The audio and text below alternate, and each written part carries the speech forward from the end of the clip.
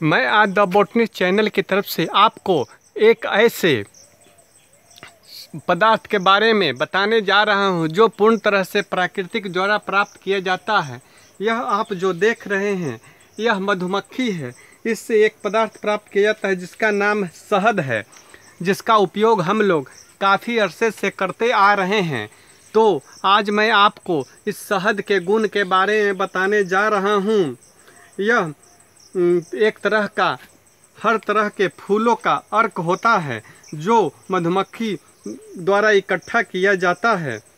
इसका औषधीय प्रयोग मुँह के छाले, अगर जो मुँह में छाले हैं तो 10 ग्राम शुद्ध शहद में 100 ग्राम ग्लिसरीन तथा 30 ग्राम महीन पिसा हुआ सुहागा मिलाकर शीशी में रख लें। इसे रुई द्वारा जीभ पर छालों पर दिन में तीन चार बार लगाएँ तो एक से दो दिन में इस प्रयोग से छाले हमेशा के लिए ठीक हो जाते हैं। दूसरा, थकान। किसी प्रकार की शारीरिक या मानसिक थकान है तो एक चम्मच शहद और एक गिलास पानी में भली भांति मिलाकर पी ले तो थकान दूर हो जाती है।